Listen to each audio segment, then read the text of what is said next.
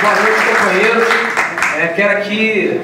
em nome da oposição ao Sindicato Norte Fluminense, e como também candidato da FNP agora, no segundo turno para o Ceará Transpetro, parabenizar os companheiros aqui do Rio de Janeiro, que estão numa plenária com a base democrática, construindo uma direção combativa para o Sindicato Rio de Janeiro. É, nós, lá no Norte Fluminense, estamos numa batalha também que vai significar a eleição agora em maio, que lá é diferente, é o caso, nós temos que tirar da mão da FUP aquele sindicato que vem traindo a categoria ano após ano. Então nós estamos olhando aqui o exemplo de vocês, vendo a base envolvida, como se constrói uma verdadeira chapa combativa com os companheiros da base que estão no dia a dia construindo as lutas, as greves, e é com muito orgulho que a gente vai ver essa experiência aqui de vocês hoje, levar para a nossa base lá também, tendo a certeza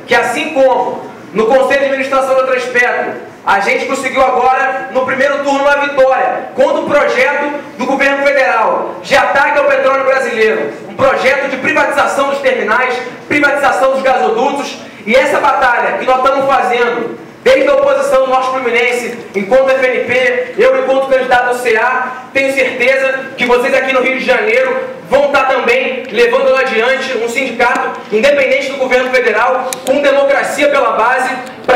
a categoria e conseguir muito mais vitórias. Então isso que a gente arrancou da empresa agora nessa última greve foi só o início. Existe um novo cenário nacional categoria petroleira. A eleição será Piauí que foi o primeiro sindicato desse ano, e a chapa da FNP saiu vitoriosa, foi só a primeira de muitas. Eu tenho certeza que esse ano nós vamos virar o tabuleiro na disputa nacional de petroleiros aí e retomar, garantir a democracia nos sindicatos e o conjunto dos sindicatos na luta, tirar da mão da FUP acabar com esse verdadeiro pacto que a gente tem com o governo federal. Então a gente aqui da oposição unificada, lá do Norte Fluminense, estamos aqui principalmente para parabenizar vocês, uma plenária representativa e cheia como essas, como essa aqui, aprender com vocês, levar essa experiência para poder fazer lá também um sindicato de fato controlado pela base, democrático e acima de tudo, sem rabo preso com o governo federal. Então, companheiro, companheiros e companheiras,